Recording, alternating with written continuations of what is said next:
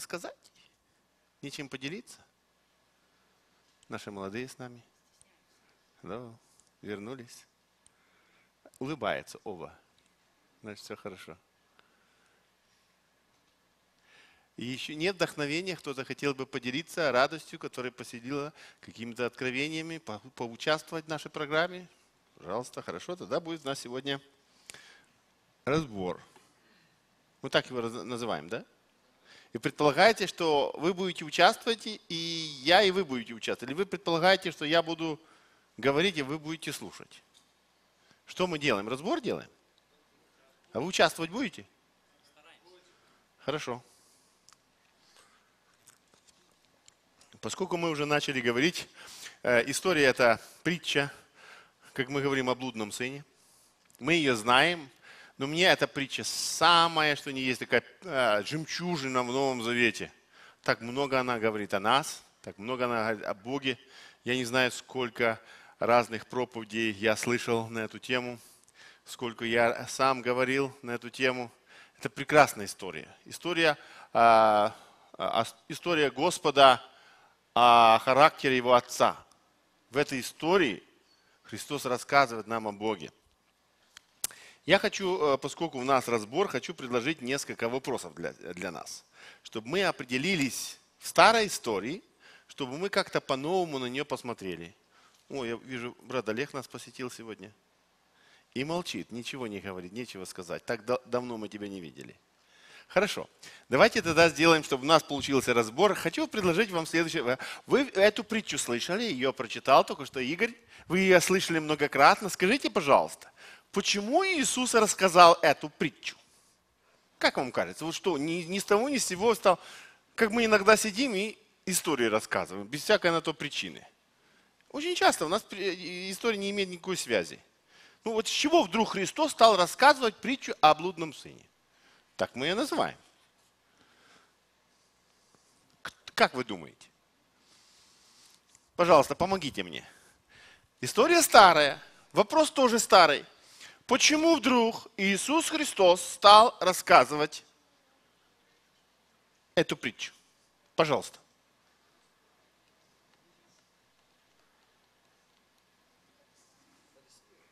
Вячеслав, ты хотел сказать? Да.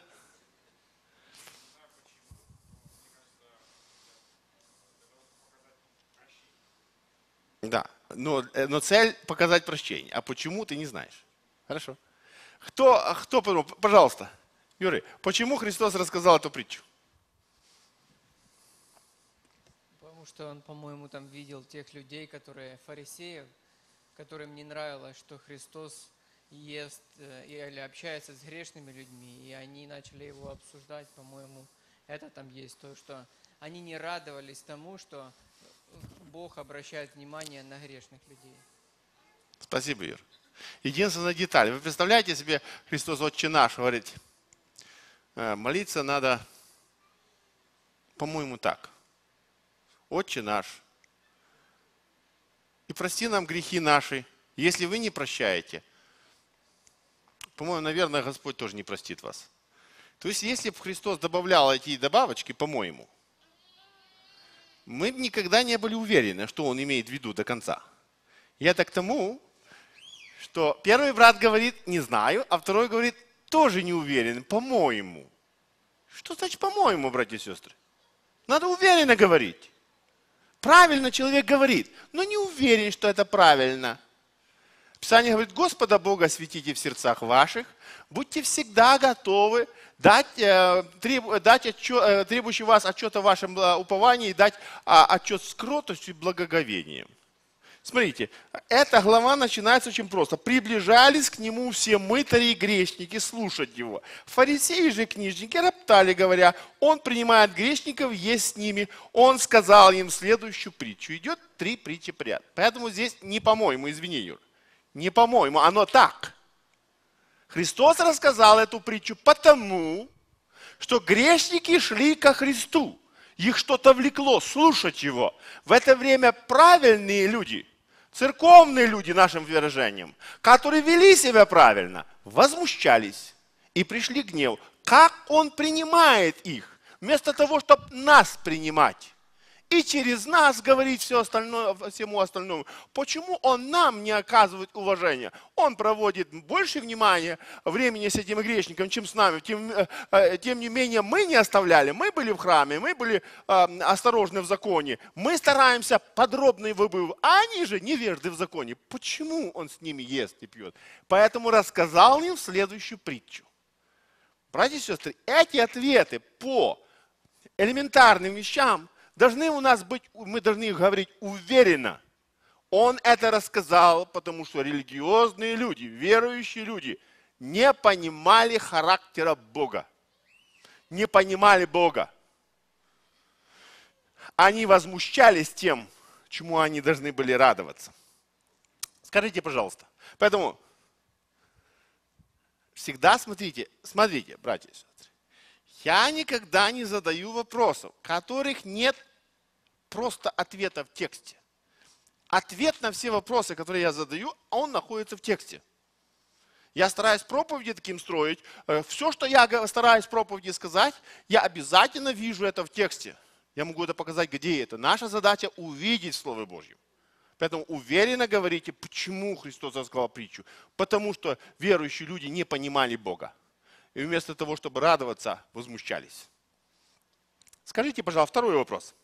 Как вам, как вам кажется, о чем эта притча? Что-то может это сказать одним предложением. В этой притче Христос говорит о любви Бога человеку. Очень хорошо. Кто еще? Попробуйте по-другому сказать. То же самое можно разными словами сказать. Попытайтесь сказать разными словами. Другими словами то же самое. Это хороший ответ. готов, Бог готов простить всякого, всякого согрешающего. И? А откуда это следует, что всякого согрешающего?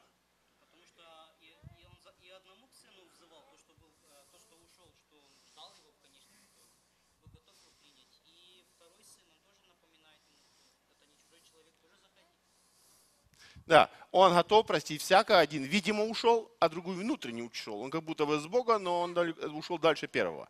Господь готов простить всякого. Кто еще? Попробуйте рассказать эту притчу. О чем эта притча? Одним предложением. А? Правильно, уже было сказано. Опоздал Иван Петрович. Притча о блудном сыне. Притча о любви отца, правильно? Ну, это уже было сказано. А притча о блудном сыне. О радости, эта притча говорит о радости на небе, о кающихся грешниках. Кто-то еще? Пожалуйста. Пожалуйста.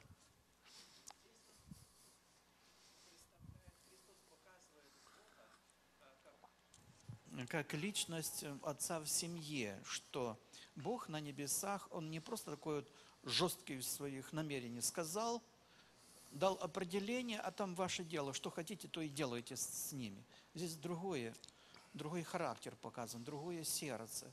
Бог, который постоянно ожидает, думает, выходит навстречу, встречает грешного человека.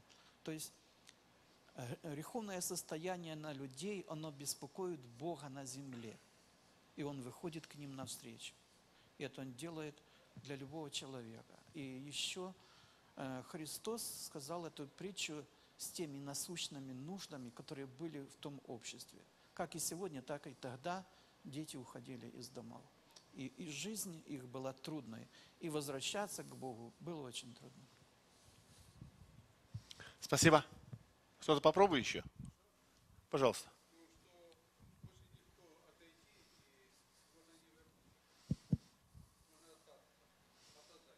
А, а с чего вы это взяли?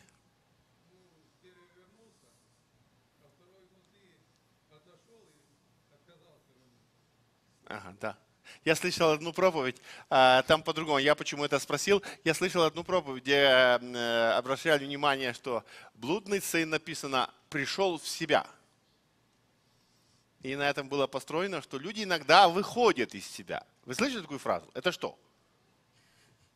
Люди выходят из себя. выходит из себя. И проблема в том, что время от времени наши нервы сдают, мы выходим из себя. Но очень важно, чтобы мы вернулись.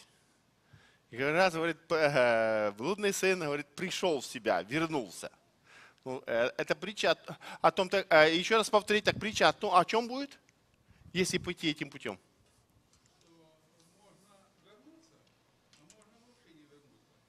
Ага.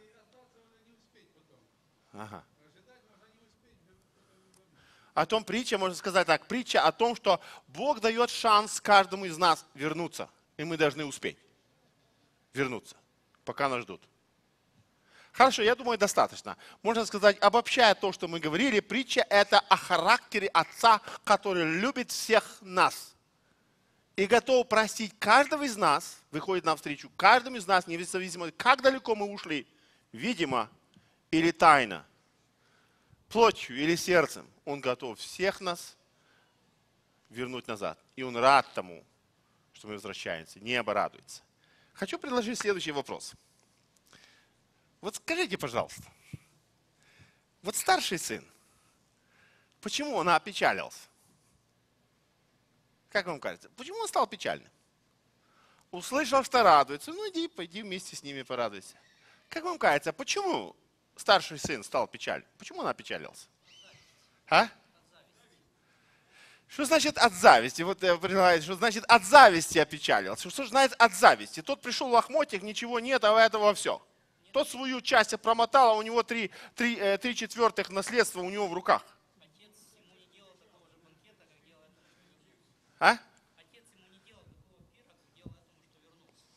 Э, Зависть строится на том, что ему такого пира не устроили, как устроили бл- блудному сыну. Может быть, на этом. Пожалуйста, все. А? Ревность почем?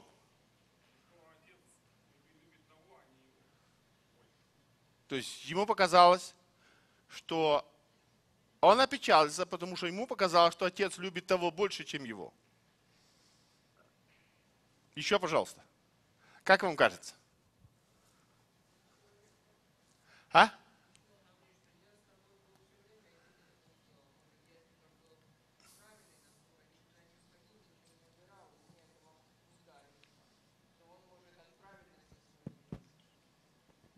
Из чего? Еще раз, я что-то запутался. Дал. Получается, я делал все правильно, а этот пропустил, прокутил, ты ему устроил праздник, а ты никогда не дал, не дал мне э, ягненка, чтобы я порадовался с друзьями моими. Ты для меня не сделал подобное. Он огорчился из ревности, из печали, что его труд не оценен должным образом. Еще, пожалуйста, кто-то видит? Пожалуйста. Я думаю, что а, большая часть в том, что он э, обвинил отца в несправедливости, потому что он поступил справедливо по закону, потому как э, было правильно. Он э, исполнил, другими словами, волю отца. Он остался дома и не занимался всякими глупостями. А младший сын э, нарушил как бы взаимоотношения с отцом, любовь его и ушел. И он как бы обвиняет э, отца в том, что он э, делает неправильный суд. Не, на- не хвалит э, старшего сына, а наоборот как бы радуется вместе с младшим, когда тот его на самом деле обвинил, то есть нарушил заповедь. Спасибо. Да, пожалуйста. И еще фарисеи следом постоянно ходили за Христом, они знали Его, и они следили за каждым Его шагом. И они, это приравнивается старший сын к ним, фарисеям, что э, мы постоянно с тобой, а ты уходишь грешным. А это сделал сравнение, как бы, чтобы они поняли, сказал в притче.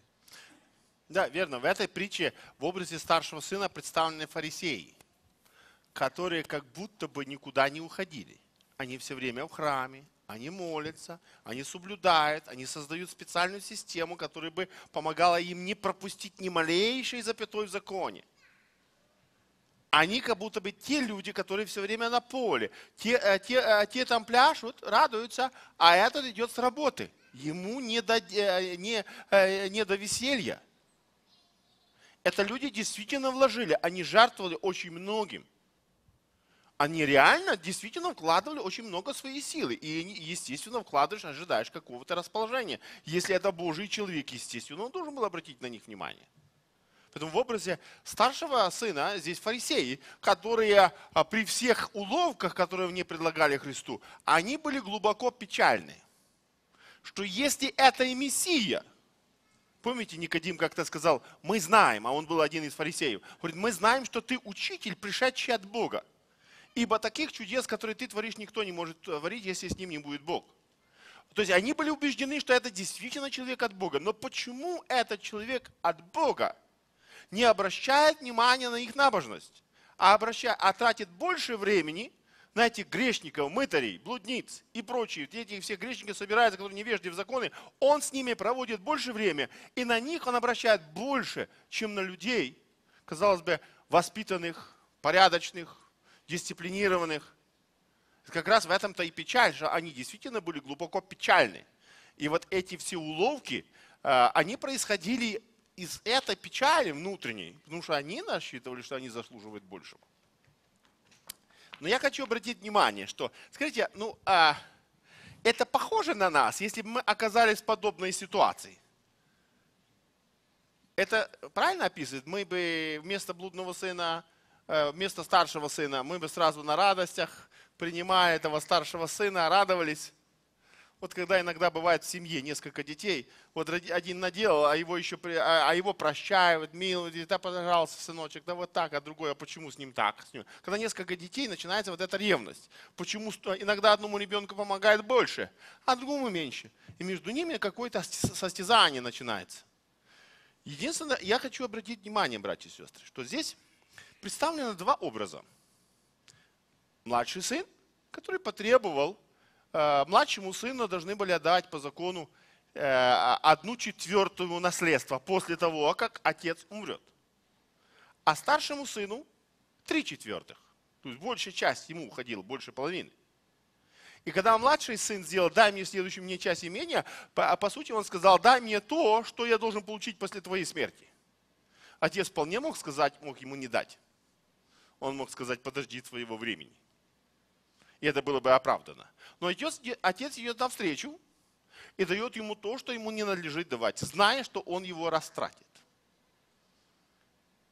Знаете, наверное, у кого дети были, когда вы подросли, мы знаете, есть истины, которые э, детям говоришь, они не понимают. И потом они что-то делают, и мы знаем, что им будет больно. Но через это больно они осваивают определенные истины. Здесь образ отца нам показан в этой притче. Эта притча на самом деле действительно об отце не о сыновьях, об отце, о характере его, который не поняли люди религиозные. И мы рискуем тоже, ходя в церковь, все же Бога не поняли. Главное нам Бога познавать, а не просто выяснять, кто прав, кто виноват. Насколько я правильный, другой насколько грешный. И, и как раз э, в, этом, э, в этом образе Отца показан Бог, который идет настолько, что Он видит грешника – он видит, что тот уходит далеко, но он знает, что истину определенную о нем он поймет только тогда, когда в беду попадет. Поэтому некоторым людям, иногда нашим детям, мы пережимаем, что они куда-то идут. Бог позволяет, вы позволяете, продолжайте молиться. Через определенную беду дети все это осваивают определенные истины, и они возвращаются. Сегодня же я хотел обратить внимание, вот этих два сына. Один ушел явно дальнюю страну, а другой никуда не уходил.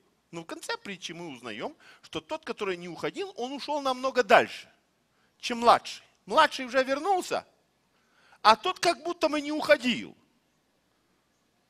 Но был настолько далеко от отца, что ему было намного сложнее вернуться, не уходя.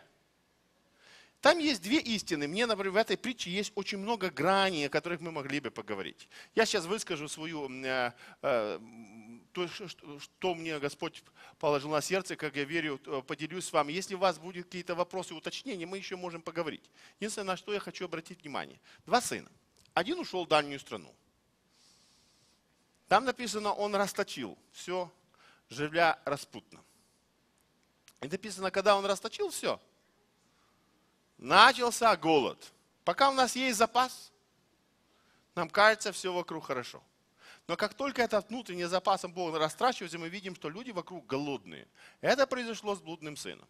Расточил он все, оказался в дальней стране. Написано, пришел к этому хозяину, стал а, пасти свиней, тот послал его спасти свиней. И если он мечтал, что без отца он построит прекрасное будущее, он оказался делать иудеи, то, что иудеи не должны были даже держать свиней. А пастухом это была мерзость пасти э, свиней. И мы знаем, что дальше происходит. Дальше происходит, что он начинает мечтать. Он начинает мечтать, будучи рабом при свиньях. Вы помните, какие у него мечты были? Он хотел, если он раньше хотел взять, иметь свободу, иметь э, деньги и пойти и без отца построить э, свое будущее, то теперь его мечты опустились. Помните, о чем он мечтал? Кто помнит, о чем блудный сын мечтал? О рожках. Каких рожках? Здесь важно. Которые ели свиньи. То есть получается, что человек уходит от Бога, и он опускается. Если он раньше его достоинство исчислялось тем, кто его отец, теперь он сам. Его достоинство опускается на уровень язычника, а потом на уровне свиньи, и потом ниже свиньи. Он мечтает о том, что свинье давали вдоволь это уровень, казалось бы, полного уничтожения достоинства личности. Ниже этого невозможно опуститься. И вот в этом именно, в этом разрушенном достоинстве происходит с ним что-то невероятное. Ему приходит мысль, он вспоминает отца, и в доме отца моего слуги э, избыточного хлеба, а я, а я здесь умираю от голода. И он принимает решение. Встану, пойду к отцу моему и скажу. Обратите внимание, что происходит. Младший сын находился в ситуации, которой не позавидуешь. Ну, никто из нас так не живет. Ну, ни у кого нет такой мечты, чтобы мы мечтали о том, что давали свиньям, и нам этого не попадать. Ну, никто так не опускался, правда? Ну, я не знаю. У кого-то есть такие обстоятельства, что опустились так низко?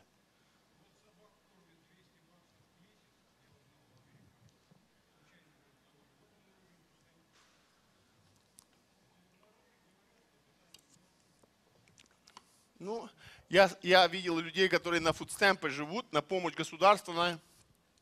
Хорошо живут. Хорошо живут. Те, которые получают, при всем, если сравнивать с людьми, которые в других странах, это вообще самые богатые люди. Даже те, которые живут на фудстемпах и на помощь государственную. Ну, я же, я же посещал своих теща, тесть, я же видел, как они живут. Я видел, что они кушают. Я спрашиваю, вам что-то нужно? У нас есть все, что мы хотим. Мы старались что-то купить, но у них было все, они еще нас угощали. Я просто к тому говорю, что а, уровень, на который упустился блудный сын, это невообразимо низкий. И чему тут радоваться? Но тем не менее, через короткое время сын блудный оказался на пире, и он радовался. Радости неописуемой. Он восстановлен в достоинстве. Помните, ему дали одежду, комментаторы говорят, это символ уважения. Ему дали кольцо, это символ власти. Ему дали обувь, это символ восстановления в сыновстве. Есть э, э старая, где-то в одном комментаторе, комментатор одно прочитал, есть старая песня негритянская, что они пели, что когда они будут на небе, все будут ходить обутые. Дело в том, что э, мы не понимаем этого. Но обувь в свое время, это было дорогое дело, только дети – сыновья носили обувь. А всем остальным в свое время, а там по-другому приходи. Поэтому э, он в правах, он радуется.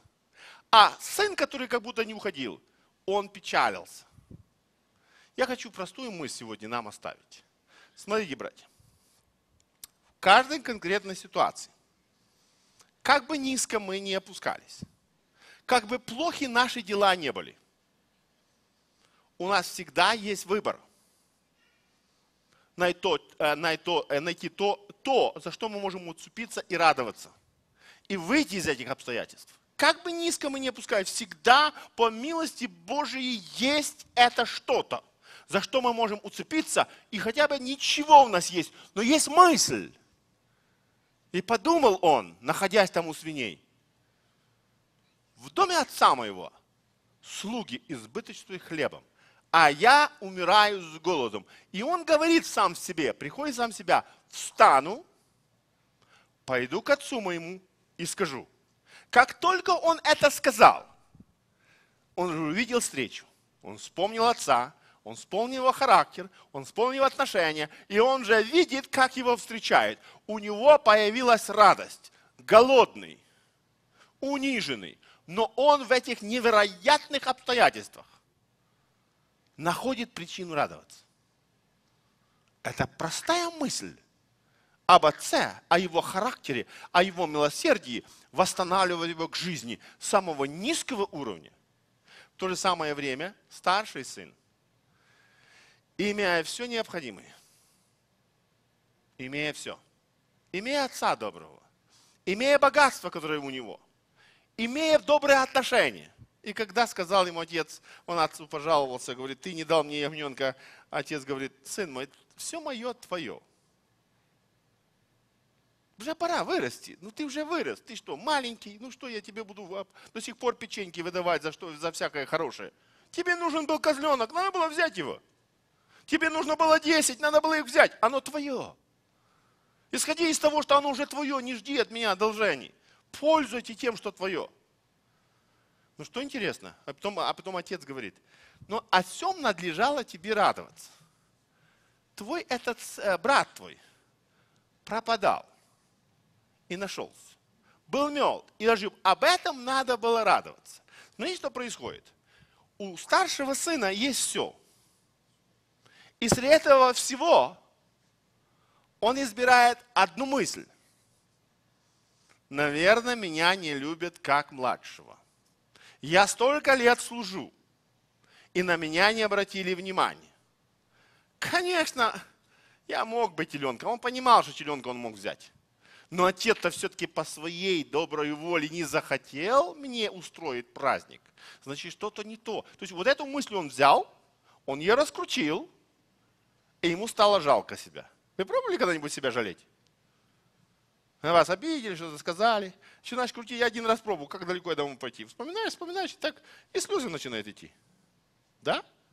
Стоит дать, дать волю мысли, и слезы начинают идти. Я хочу обратить внимание, братья и сестры, мысль очень простая. Мы можем ходить в церковь. Мы можем звать людей ко Христу. Мы можем звать людей к радости.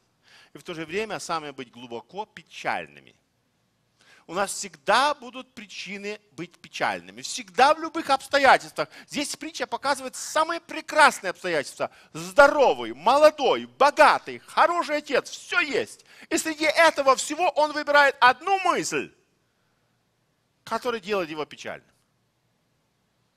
В то время как другой сын, в обстоятельствах, которых вообще нечему радоваться, он выбирает одну мысль, которая вводит его в дом пира – Братья и сестры, можно ходить в церковь и все время быть чем-то недовольным.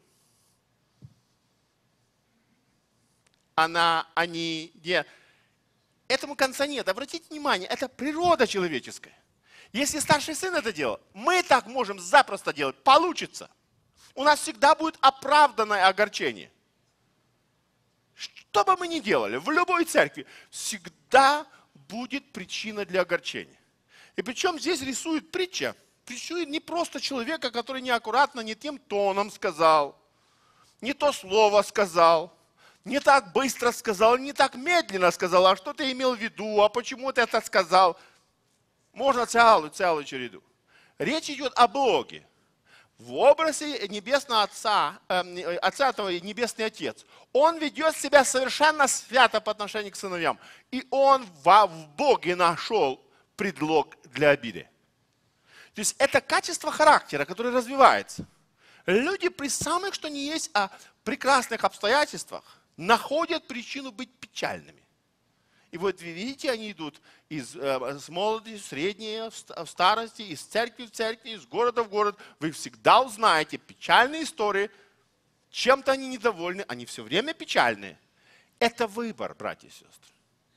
Сам Бог не угодит таким людям – если они будут иметь дело Богом, с Богом, если Бог себя упростит до уровня простого человека, при этом будет говорить с совершенной мудростью и справедливостью, найдет этот человек в Боге причину для печали. Все, что я хочу сказать, братья и сестры.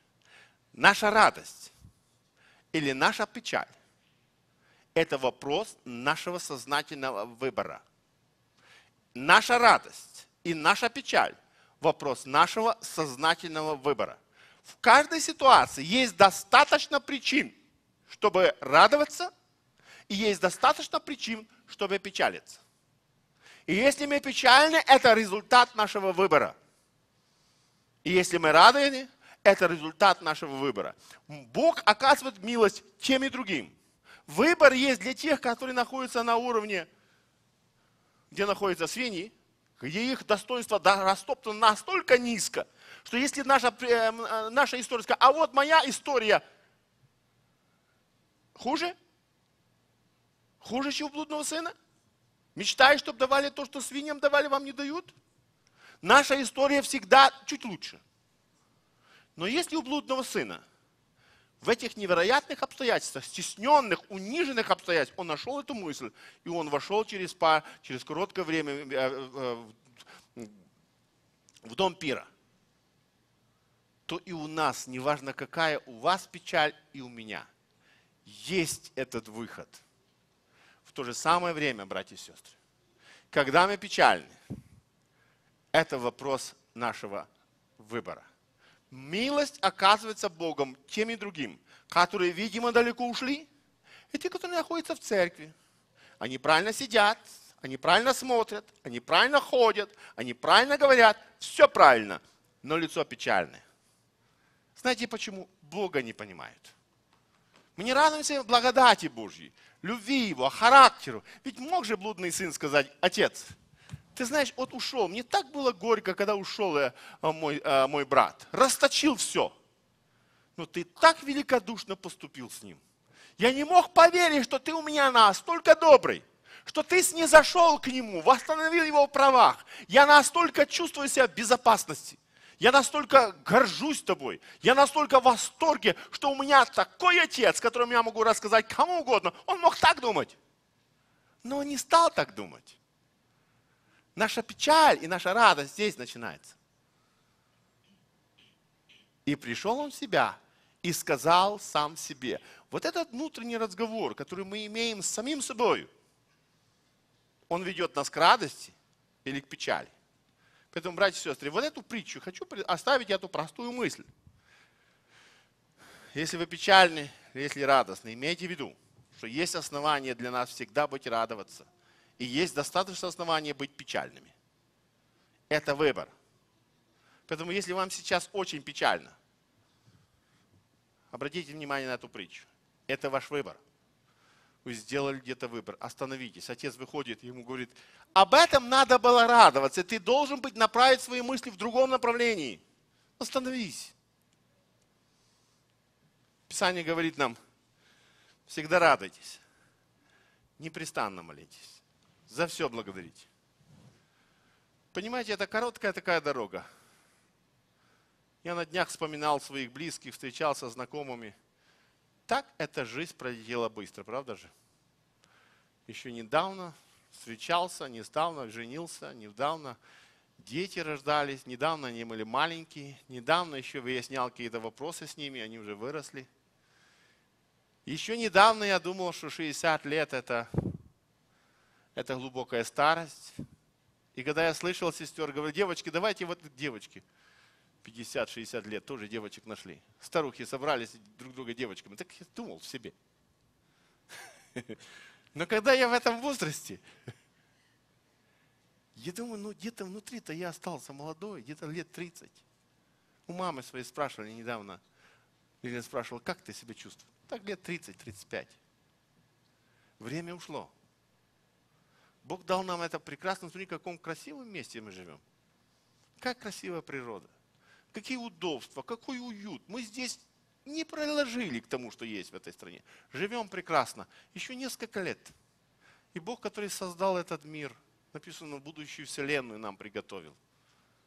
Мы будем вместе с Ним царствовать. Мы станем за столом. Тот, который из праха нас создал, у него ума хватило нас создать такими прекрасными. Ведь человек самый что не есть опущенный. Это прекраснейшее творение Божье. Этот Бог приготовил нам вечность. Он дал нам возможность только пройти через эту жизнь.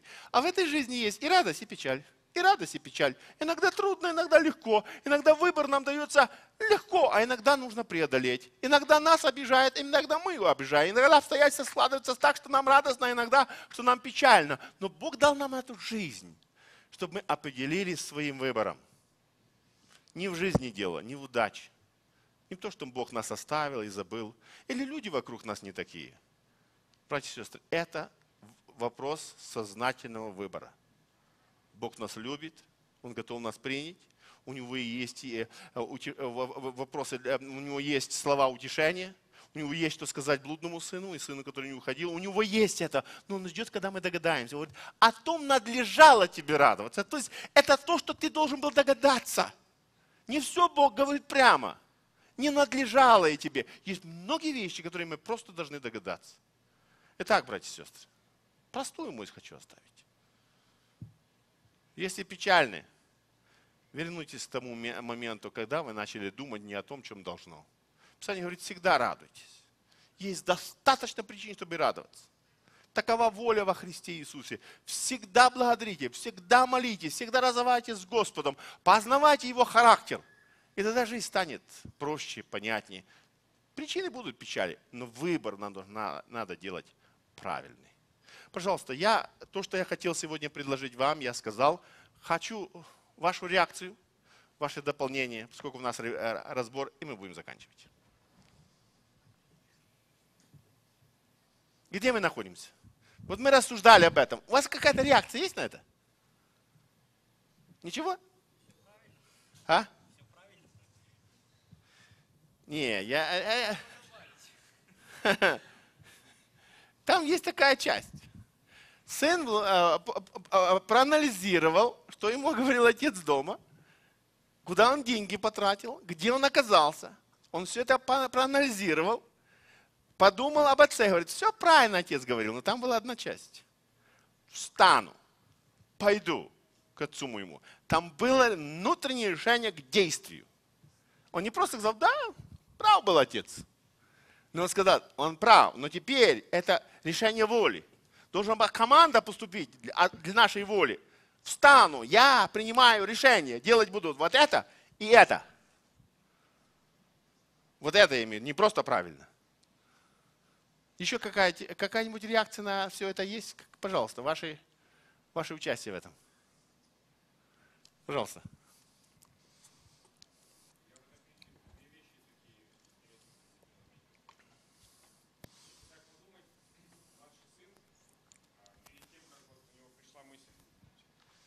Пришла мысль взять часть имения.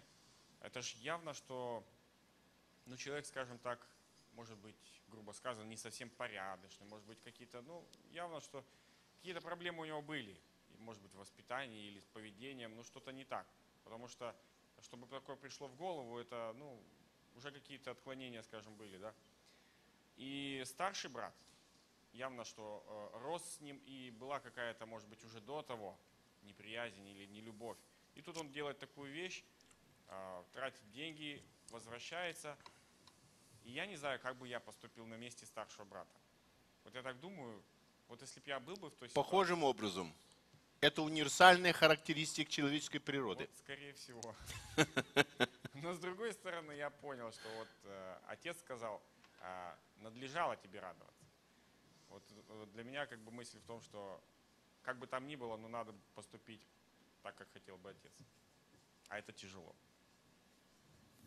Но это приятно, когда доходит до той части, когда действительно радость начинает. Но нужно преодолеть себя. Олег Владимирович, ты с нами не хотел поделиться? Как ты? Давно мы тебя не видели.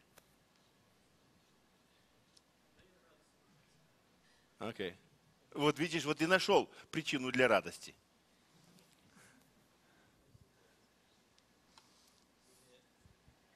Бог научил находить. Я что хотел сказать, вот так немножко, может быть, оттенок такой, чуть другой.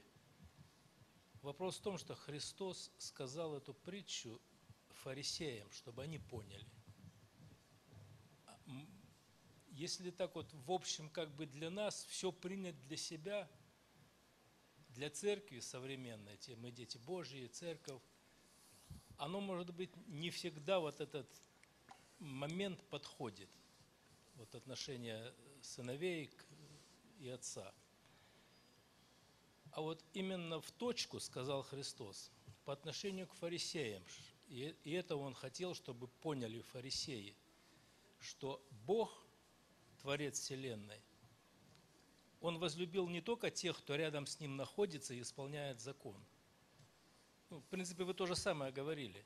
Но именно Он возлюбил и тех, которые вообще Его отвергли, ушли или вообще о Нем не слышали, негодных людей. Поэтому, если взять историю, вот, ситуацию церковную, оно почему не всегда подходит, я что имею в виду?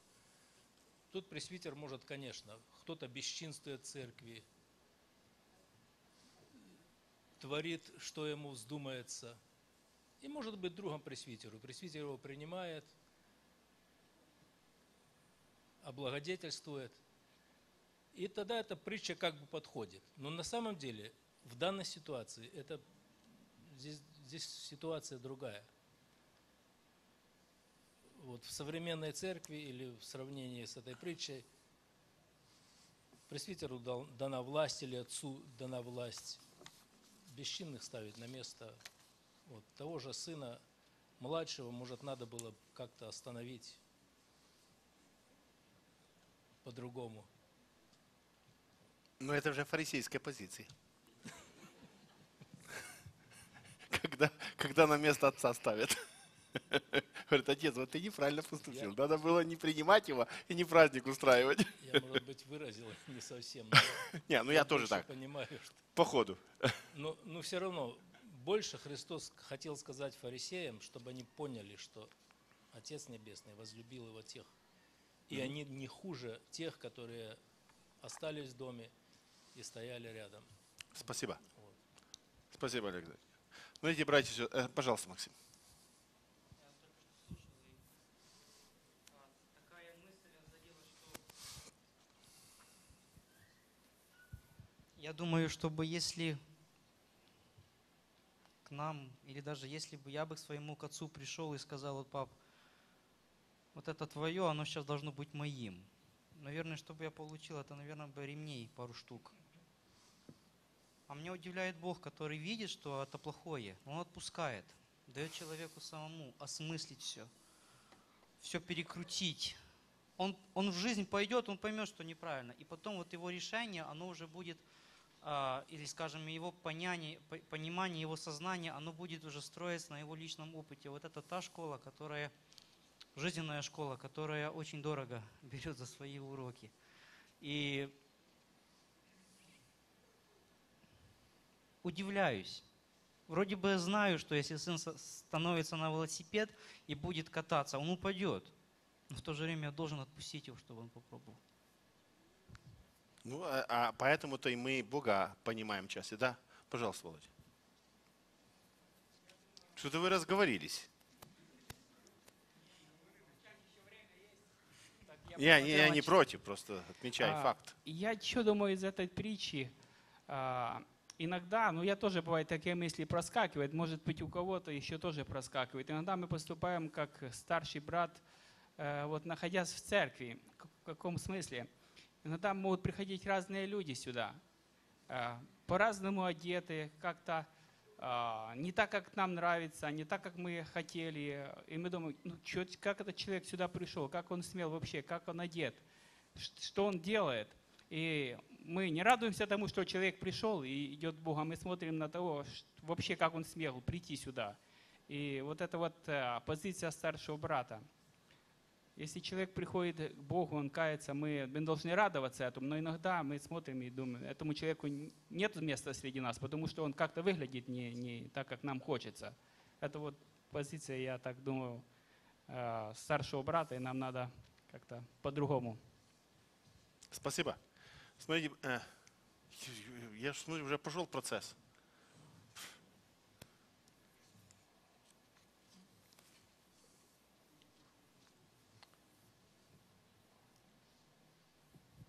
Но я так понимаю еще, что здесь все три притчи, они э, указывают фарисеям преждевременно. Ну, как мы говорим и в То церкви, так же самые фарисеи, они гордились, что они возле Бога, они с Богом, а те, которые где-то там вдали, они их не принимали. Но Бог принимал, и Христос указывал в этих притчах, что Он ищет таких, чтобы принять их. А вы, как праведники, смотрите, чтобы вы не уступились и не ушли, как старший сын. Он не хотел слушать даже, указывал на отцу. отцу. Так что вы смотрите за собой преждевременно, примиритесь и поступайте так, как Бог поступает. Радуйтесь и веселитесь, и принимайте, помогите поднять его и прочее. Хорошо, спасибо. Давайте мы будем закругляться, будем уже заканчивать. Э, Братья и сестры, хочу обратить внимание, что удивительно, что когда говорил Хри- Христос притчи, вот даже какая-то, как бы между прочим сказал. Но эта притча, она настолько многокранна, она настолько глубока. а Здесь очень много, настолько много истин, которые о природе человеческой, о Боге. Я даже не- не- как-то в одном месте говорил на, эту, э, на, на основании притчи о кальвинизме и армянстве. Никогда не думал, что, я, оказывается, это там есть. Бог суверенный, но Он же и Отец. Суверенитет создает это богатство и власть, но Его любовь Отца позволяет каждому выбирать свое. И здесь показывается, что когда человек, в кальвинизме утверждается, что человек настолько распущенный, он полностью мертв, он не может сделать выбор. На эта притча показывает, что этот человек был далеко от Бога, находился свиньями, опустился в уровень ниже свиньи. Однако в этом состоянии он делает выбор. То есть Бог в своем суверенитете, в своей любви сохраняет за каждым человеком эту возможность выбрать. Маленький выбор, маленькая, маленькая мысль, которая ведет человека совершенно, совершенно в новое состояние. Эта притча имеет очень много разных граней. В том числе мы должны понимать, э, насчет э, фарисеев, Анас и Садукеев. Здесь можно, есть многие личности, которые были в Новом Завете. Это были конкретные люди. Конкретным людям он говорил, фарисеям, садукеям, книжникам, мытарям, блудницам, разные группы людей. Эти люди буквально не присутствуют у нас. Однако за этими историческими личностями стоят универсальные принципы, которые применимы в любом месте, в любой церкви. Например, насчет, э, комментарий насчет того, что напрямую, конечно, среди нас фарисеев нет как таковых. Однако, те люди, которые окружали Христа, верующие люди, это картина тех людей, которые будут всю историю окружать людей. И в каждой конкретной церкви присутствуют люди, которые по своему характеру похожи на фарисеев, на садукеев, на книжников, на мытарей. И многие вот эти категории людей при- э, универсально они присутствуют. И каждый из нас по своему характеру ближе к тому и другому. Вы можете увидеть. Есть те люди, которые обращают внимание только на внешнее, они только говорят и все время подчеркивают свою, свою праведность и святость. Есть такие люди. Есть те люди, которым все равно, ни о чем не переживают. То есть в церкви есть разные эти характеры. И есть универсальные принципы, которые применимы ко всем. Иногда непонятно, что происходит. Иногда оказывается честь незаслуженная сыну, который пришел с дальней раску- и зачем ему это а, устраивать эту, и поэтому реакция, почему надо устраивать честь. Вот сказал, э, Володя сказал, придет человек такой-то, такой-то, а мы, что он пришел. Мало того, если бы мы еще ему честь оказали, то еще хуже будет. Мы по своей природе похожи в какой-то степени на младшего и на старшего. Мы можем, от- а есть некоторые люди, которые открыто уходят, есть те люди, которые никуда не уходят, но внутренне Бога не понимают. Почему они Христом возмущались? Потому что они Бога не понимали, они не понимали Его характера. Итак, братья и сестры, эта притча о многом говорит, что мы слышали, пусть Господь закрепит в нашей памяти. И давайте оставим и эту мысль. Вопрос нашей радости и нашей печали – это вопрос сознательного выбора. Если вам печально, не объясняйте обстоятельствами. наша вера простирается намного дальше наших обстоятельств. Мы что-то забыли, допустили не ту мысль, дали возможность этой мысли овладеть нами. И в этом лесу, где много деревьев, о которых можно кушать, мы иногда сосредотачиваемся на одном дереве, от которого нельзя есть, и нам кажется, что ничего нельзя, и нам становится печально. Да поможет нам Господь после этого собрания проверить свои обстоятельства и принять решение, как блудный сын. Встану, пойду, чтобы были какие-то действия в тех обстоятельствах, в которых мы находимся. Давайте встанем, помолимся.